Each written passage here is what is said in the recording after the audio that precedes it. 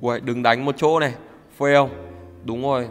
Thế là mình lấy cái băng thạch đúng là có lợi thôi các bạn. Đừng mà cố lên cố lên. Đúng rồi đúng rồi đúng rồi đúng rồi đúng rồi. Win rồi các bạn. Xin chào tất cả các bạn. Chào mừng tất cả các bạn đã đến với kênh bóng chat ở giai đoạn đầu này chắc là mình sẽ không chọn đâu nha các bạn nhé. Đó. Xem vào được đội hình như nào xong là tính tướng ra như nào đấy rồi mình sẽ chơi chơi cho nó hợp lý. Đó. Cứ cho ba con này vào này đã các bạn đợi tía ra xem những cái con tướng nào ấy. Ví dụ bây giờ nếu mà các bạn chơi cái con chỉ huy tha này này nó có um, ví dụ như các bạn bây giờ mà chơi con chỉ huy tha này nhá sử dụng cái kỹ năng thứ ba của nó ấy, thì các bạn có thể chơi nguyên một con tướng ví dụ như là Linh, Fanny, Candita, Thamus đó. Nhà mình thấy như thế là nó cũng kiểu hên xui ấy các bạn cũng không an toàn lắm. Nên là các bạn cứ kết hợp hai hoặc ba con vào đấy có đồ này chắc là mình lấy hóa đá nhá. Rồi.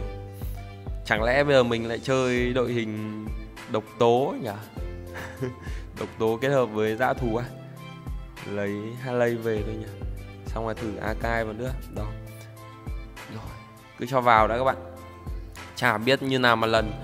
Với cả mình chơi nhiều thì mình thấy là các bạn cũng không nên đừng có chơi kiểu một đội hình nào đấy. Các bạn cứ kết hợp nhiều tướng và nhiều đội hình vào kiểu chơi để trải nghiệm ấy, xong rồi cho cho biết thôi, xem là những cái đội hình nào mạnh, xong rồi xem tướng, những cái con tướng nào nó kết hợp với đồ nào nó hợp lý ấy. Đấy, theo mình là nên là như thế. Còn những bạn mà chủ yếu tập trung muốn leo danh là leo leo hạng, leo danh để lấy điểm cao ấy, để trên mấy nghìn điểm chẳng hạn thì các bạn cũng có thể chỉ chơi một hoặc là hai đội hình, ba đội hình khác nhau, đó. Chỉ huy bây giờ chơi nhàn là các bạn cứ chọn con tham bớt này. À thấy hay là mình sẽ tí nữa bàn ba con à mấy con này đi hết nhỉ?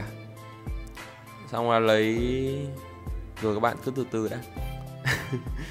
Làm video này chắc là mình cũng muốn một trận kiểu top 2 hoặc top 1 đấy các bạn không cứ ngồi chơi xong rồi vừa chơi vừa nói nó cũng mất thời gian đấy. Lúc được top 1 lúc top 2 gặp bạn này chắc khéo thua rồi các bạn. Ừ, cũng có bạn này chơi độc tố dã thú. Thế hay mình sẽ chuyển đi nhỉ? Không không chơi chung với bạn này nữa.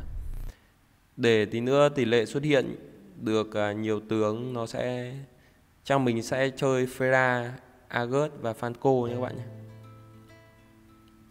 rồi thua. Có thể là vậy các bạn. Đó. Tại vì nếu mà các bạn chọn xong là tí nữa chọn được đồ nó hợp lý lấy con Fanco về trước nhé rồi xong là bây giờ bàn cờ xoay này, lấy Agut và Ferra về, thế thôi. Đó. Vậy giờ là mình sẽ bán Wilson đi này Harley bán hết đi, bán nốt cả Akai nữa. Đó các bạn, đúng vừa đủ 20 vàng. nếu mà các bạn chơi nguyên ba con như này, mình thấy là có đồ nữa là cũng bá đạo các bạn. Có có thể là sẽ giành top 3 hoặc top 2 hoặc nhân phẩm tốt nữa lên được lên được nhiều con ba sao ấy, là các bạn sẽ được top 1 đó. Nhưng mà nó bị khắc chế bởi cái con Karina nha các bạn nhé Karina của chim tinh ấy. Với cả là của cái con Veil nữa. Tóm lại là bị bị khắc chế bởi hai con đó. Đấy. Con Veil với con Karina. Hai con này nó mà ulti lên xong là ví dụ như con Veil là cứ một trưởng là một trưởng là cái con Fera mình đi luôn ấy. Rồi chắc là mình sẽ lấy con tham mớt thôi các bạn. Đó.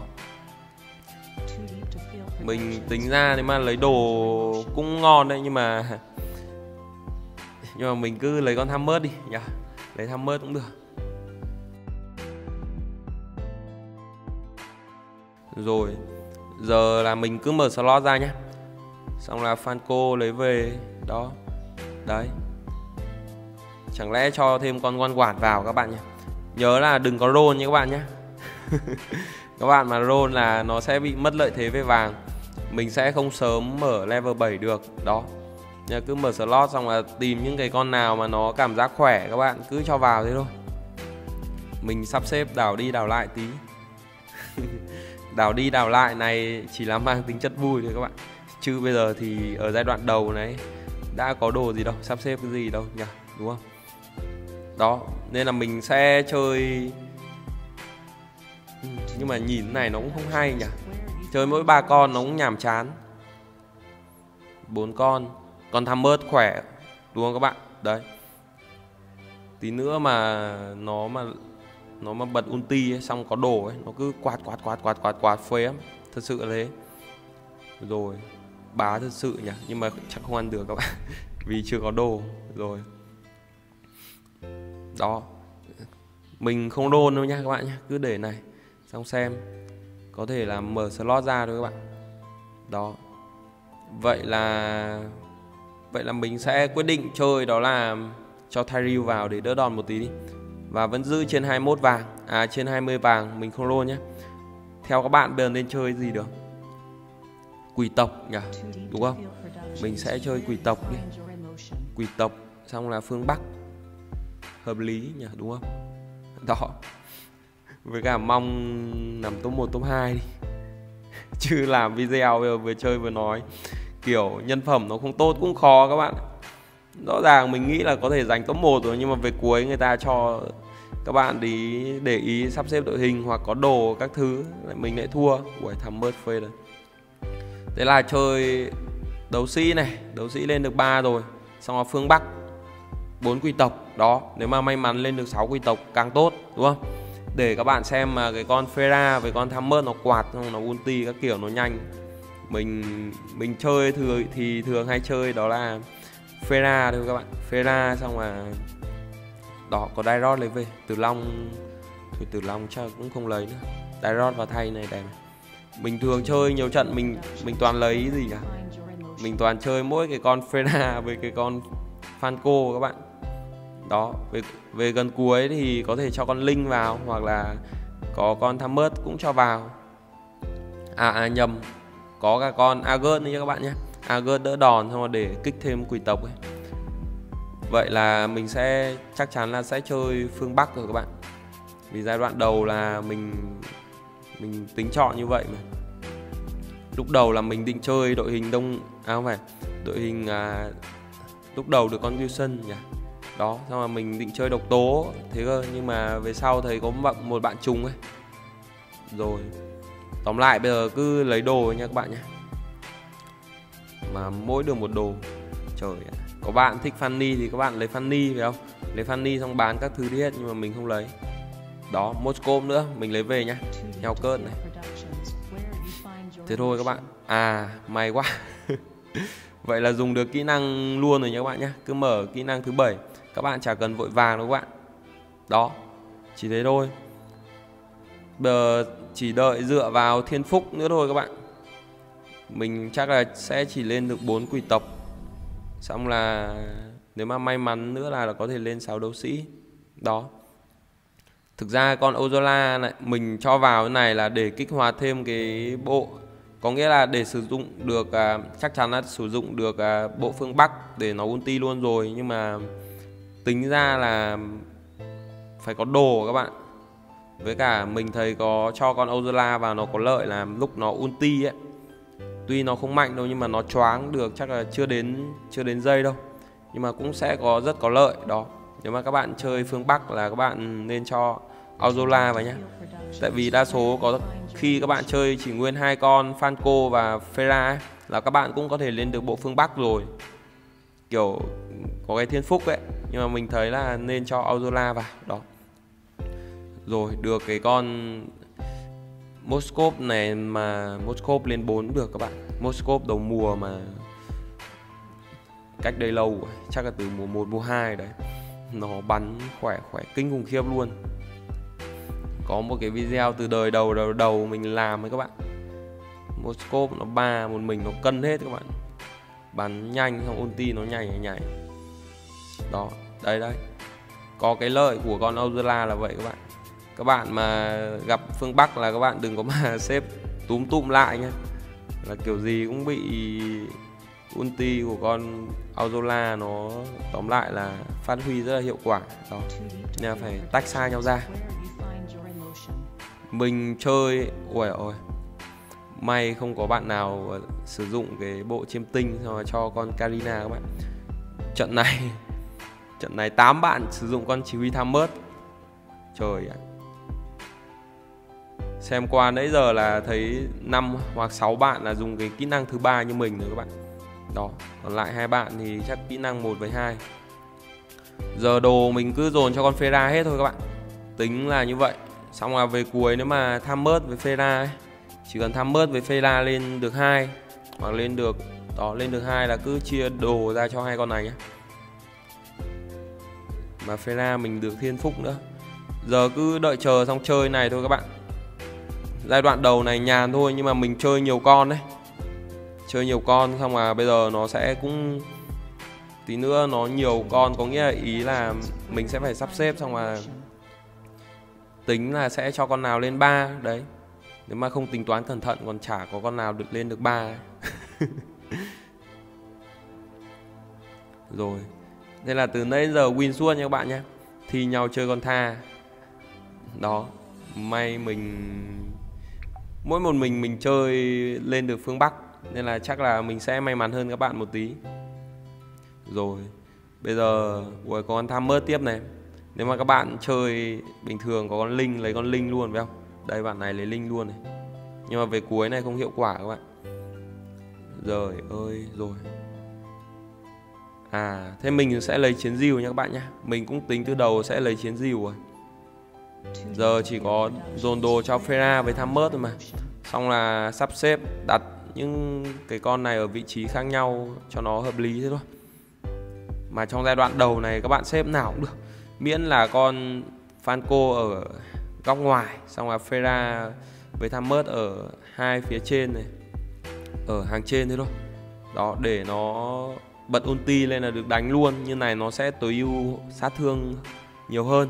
Đó à bạn này dùng kỹ năng thứ nhất cũng được. Uầy, bạn lên đường cross ừ, ba luôn này ghê gớm không rồi kệ đi. Trận này đó. Trận này bây giờ chỉ còn biết dựa vào Fera với con tham mớt thôi các bạn chỉ có hai con này thôi.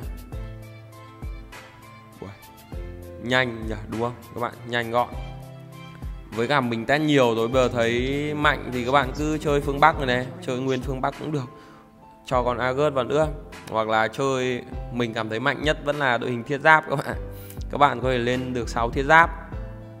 Đấy thiết giáp xong là tùy thôi các bạn có thể kết hợp thiết thiết giáp à, thiết giáp với kiếm khách. Nhưng mà mình thấy cũng tùy nhân phẩm từng trận thôi các bạn. Tóm lại là ui rồi đấy bây giờ cảm giác nó khó khăn chưa các bạn? Bán con nào đi cũng tiếc, giữ con nào đi cũng tiếc. Thôi bán Agut vậy. Thực ra thực ra là nếu mà để Agut cũng được, xong bán con heo cớt đi, đó. Nhưng mà, thôi kệ đi. Tóm lại là mục đích của mình là chỉ có là con Fera, đó, với cái con tham bớt hai con này lên ba thôi còn những cái con khác là chủ yếu là vào để kích lấy cái lấy nội tại quỷ tộc này à đúng rồi lấy có thể lên được 6 quỷ tộc càng tốt hoặc là có thể lên được 6 đấu sĩ đó. Nếu mà trời mình vẫn ăn được. Mình nghĩ thế. Nếu mà lên được 6 đấu sĩ ấy, thì lúc đấy con tham mớt nó sẽ cực kỳ khỏe nha các bạn nhé ulti nó cũng vừa đánh xong là vừa tăng lớp giáp ảo xong hồi máu các thứ nữa đấy, đội hình nào mà có ba đấu sĩ trở lên là giai đoạn đầu nó cũng khỏe dần đấy. Giống như một trận đấu phải có những cái con tanh, con phép, xong là xạ thủ các thứ ấy các bạn. Cho đủ hết đấy rồi lại bán nào đây? Thế chắc lại bán Agut thôi. Tại vì nãy, rồi, tại vì nãy là bán Agut đi rồi. Đó, bây giờ đợi xem được cái đồ như nào là mình chọn xong rồi cho, chắc là chỉ đợi có cái đồ sát thương vật lý thôi các bạn. Xong rồi cho con Fera hoặc cho con tham mớt đó, hai con này. Tham mớt mà lên hai cũng bá lắm nhá các bạn nhá. Thật sự là thế. Tham mớt hai mà nó của 6 gì nhỉ? Của 6 quý tộc chẳng hạn, hoặc tham mớt của 6 đấu sĩ, chắc chắn là nó sẽ đồ như nhau ấy, chắc chắn là nó sẽ ăn được ăn được của tham mất ba đội hình khác nhé tóm lại là, tóm lại là phải lên được cái cộng hưởng các bạn. Cộng hưởng 6 hoặc cộng hưởng 4 là nó sẽ cực kỳ là khỏe. Trừ trường hợp là cái đội, trừ trường hợp con linh các bạn. Con linh rồi giờ lại khó đấy. Bán con nào đi cũng tiếc, thật sự là thế. Rồi ơi. Rồi thế bây giờ mình cho, đợi cho Ferra lên hai này đi ý của mình là kiểu nãy phân vân biết thế cho con tham lên cũng được nhỉ? Nhưng mà Fera lên hai cũng được các bạn. Tí nữa có thể mình, mục mục đích của mình là cho Fera bại lên 3 mà. Đó. Tí nữa không biết ra con nào nữa đây với mình đang nói là những cái trường hợp đặc biệt, ví dụ con linh con linh mà của ba gì nhỉ? Của ba đông vũ là nó cũng có thể rất là bá này. Hoặc là con bia trích ờ. à không. Cái đội hình mình bảo trên 200 sức mạnh ấy đúng không? Các bạn xem lại. Video đấy được hơn 2.600 2.700 lượt xem rồi các bạn. Ui, nhân bản của mình cũng ăn được một bạn này. Thế đội hình này cũng khỏe. Mình thấy đúng là cái đội hình bia trích với Gatoka nó bá thật sự các bạn có đồ ấy. còn đấy tham mớt nha tham mớt của mình giờ ui tham mớt được thiên phúc nữa. Thế là quá ngon rồi đúng không các bạn? Chẳng lẽ bán thôi, bán con Dairot đi thôi nhỉ, các bạn nhỉ. Chắc là bán Dairot đi thôi các bạn. Franco này, tóm lại con nào cũng cần, nhưng mà bây giờ về giai đoạn cuối thôi. Vừa nãy là mình hạ gục được hai bạn rồi đấy. Nhân bản của mình ấy, được bạn hạ gục bạn ốc bu với bạn ad ad ad dom cái gì kìa. Chả biết với cả bây giờ thời tiết lạnh lạnh các bạn chơi mình cũng chơi cái con này nó nhàn. Một tay thì đút vào túi áo, xong xong một tay thì chọn tướng. Thế thôi, cũng chả phải check chiếc cái gì cả. Trong mình thua bạn nhỉ? Đúng không? Trời ơi, con Lancelot, mình biết là không ăn được các bạn. Đội hình siêu nhân đấy đó, đúng rồi. Siêu nhân, đội hình siêu nhân nó khỏe không các bạn mình chơi nhiều trận, xong là cái con Fera mình tuy ba cũng thế. Toàn bị cái con veo ấy nó cứ ulti một phát ulti một phát là chết luôn các bạn. Chẳng lẽ trận này lại chỉ top 2 top 3 nhỉ? Trời ơi. Chả biết nào mà lần nữa. Rồi. Thế thôi các bạn. Lấy con à lấy con uh, Moscow ra bây giờ đồ chắc là có đồ là mình cứ dồn cho tham mớt này, xong là đây, cho tham mớt cái chiến dìu thế rồi xong về cuối có đồ mình lại cứ dồn tiếp cho nó. Giờ lên được 6 đấu sĩ là cũng yên tâm rồi các bạn. Mình sắp xếp này gọi là nó chỉ mang tính chất, mang tính chất minh họa, chứ thực ra chưa chiến thuật gì cả đâu. Để về gần cuối, xem nếu mà chỉ còn hai bạn hoặc ba bạn ấy, đối đầu nhau xong là mình sẽ tính toán, xong mà sắp xếp đặt như nào cảm giác nó hợp lý nhất. Đó ui tham mơ khỏe không các bạn? Ui không không vấn đề gì luôn. Đấy. Các bạn xem lớp giáp ảo. Ui thế mình tiêu diệt được bốn bạn rồi các bạn, trận đấu này ấy. Ghê gớm không? Nhân bản cũng tiêu diệt được một bạn nha, xong là đánh trực diện cũng được một bạn này. Ui mình biết là đấy, tăng sức chứa, các bạn sẽ không lấy. Bây giờ mình lấy tăng sức chứa hay là lấy cái gì được? Nó hợp lý hơn nhỉ? Cái gì cũng thấy tiếc. Lấy này, các bạn.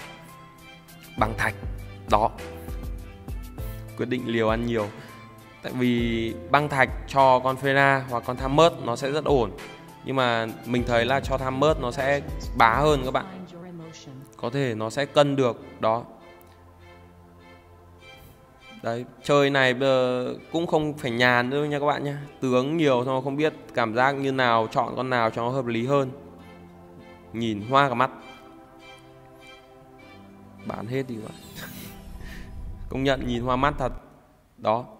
Giờ cứ để để hai con này, ba con này vào như này đã. Bây giờ các bạn xem tham mơ này. Trời ơi Fera Fera nó nó đánh xong là tạo cái lớp giáp ảo các bạn. Nhìn thấy phê không? Em mình thua bạn này nhỉ? Ui, nhân bản mình cũng thắng được nốt bạn này này. Trời ơi con Fanny. Fanny trời ơi. Chẳng lẽ lại top 3 Oh my god. Rồi nhân bản thắng top 2 cũng được như các bạn nhé Làm video tính ra cũng khổ phết các bạn. Nếu mà từ đầu đến giờ lấy con Agut là có thể lên được Agut 3 các bạn. Xong mà bán con heo cớt đi nhưng mà thôi. Giờ về cuối không nói nữa. Hay chuyển đồ băng thạch cho con Ferra được không? Rồi, cứ từ từ đó các bạn. Xong là về sau xem mình tính như nào đã. Trời kệ đi, gặp bạn này không biết có ăn nổi không? Con vêu của bạn không lên 3 các bạn. Nếu mà con vêu bạn lên 3 có đồ xong nó cứ trưởng trưởng là mình thua ấy. Chơi đội hình này cũng khỏe các bạn nhưng mà thực ra là nếu mà gặp Kalina nó hơi nó hơi khó ăn tí. Có nhiều trận là mình về cuối mình phải cho con linh vào đó. Rồi. liệu mình có thể ăn nổi? Các bạn để ý nhá mở slot ra đó. Bây giờ cho lên đủ 6 6 quỷ tộc rồi Đấy chơi về đến cuối này thấy cũng ổn rồi đúng không các bạn? Lên 6 quỷ tộc bây giờ nó sẽ đánh cực kỳ nhanh nhé Đặc biệt là Thammers với con Moskov và con Fera ấy, đánh nhanh lắm. Lại Fanny này nữa. Bạn này mà lên được con Đấy lên được VO3 xong có đồ cho VO chắc khéo mình cũng thua nốt các bạn bình thường bình thường mình cảm nhận là như vậy nhưng mà bây giờ lên được 6 quy tộc nó không biết thế nào. Trời ơi. Các bạn không chơi phép. Nếu mà chơi phép mình lấy lễ hội phục thánh chắc là lấy hết hải thần chiến kích rồi các bạn. Đó. Giờ chỉ tin tưởng vào con tham mớt với con Ferra nữa thôi mà trận này không lên được Ferra 3 nhé nếu mà lên được tham mớt 3 nữa là đẹp này. Nhìn đội hình cũng đơn giản phải không? Đây các bạn. Đội hình siêu nhân của bạn khỏe hơn. Trời ạ. Tôi phải làm sao đây? Sắp xếp lại, mang tính chất chia đều đội hình ra rồi các bạn. Chứ bây giờ con tham mớt mình không lên 3 với Fera không lên 3 cũng khó. Thôi thế này đi. Trời ơi, funny. Công nhận lợi nhỉ. Mấy cái con tướng, hai con chủ lực của mình lại đánh vào hết con tanh, xong Fanny nó kiểu bay bay chả đánh được. Cay thật sự, Fanny này phải gặp đội hình thiết giáp cơ. Beatrix hoặc là Hayabusa đánh cho không nhấc chân lên khỏi mặt đất luôn. Trời ơi, cay thế. Đây, nhìn này. Xong. Bây giờ các bạn xem mình phải khắc chế nào đây. Trời ơi, rồi, bạn kia cũng bị tiêu diệt rồi.